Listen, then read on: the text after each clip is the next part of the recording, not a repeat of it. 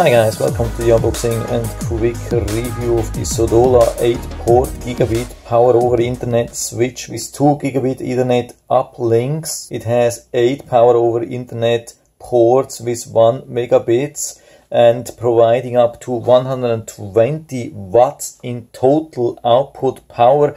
The maximum per port is 30 watts, so that's a lot. So you can easily power small devices like security cameras with all of these ports. Of course, 30 watts is the maximum when you divide the 120 watts by the 8 ports, then you have an average of about 15 watts, which is still a lot and definitely more than enough for surveillance cameras. Here we have everything really nicely packaged. Very beautiful device. Looks everything very sturdy, really nice. You can see all the eight ports here which you can use for your device like for PC, for cameras, for router, telephony and a lot of things. And here we have the 2 gigabit upload links which you can use to provide internet to all these eight outputs from your ISP internet router. And underneath we can see we have two hooks which you can use to even mount it on a wall. It comes also with this instructions manual. Maybe it can help to make a better buy decision or if you bought used or you just lost the instructions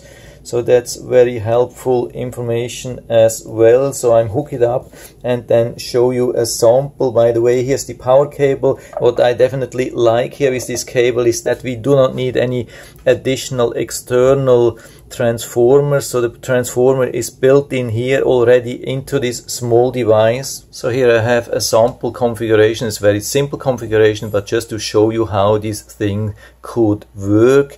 I mean I am a big fan of wireless connections but sometimes there are big advantages when you have wired connection. It's usually much faster much more stable. It also prevents from a lot of radiation and much more advantages. And so I have the input here from the internet service provider router and I have the two outputs here. One is going into this laptop, one is going into this laptop and I have the speed test now active or prepared on both of the laptops and there is no wireless connection on both of them and you can see that both are working just from the wired connection, the wired ethernet connection which is coming through the router here. So here's the end result where you can see where the internet signal which was coming uh, through here was divided into these two laptops by this ethernet switch.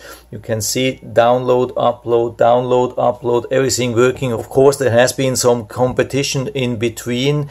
It cannot multiply the internet data, but it can share the internet access among different clients. This is exactly what we need. So it's working perfectly for me. And so I can give you full recommendations so you can buy it directly here on Amazon.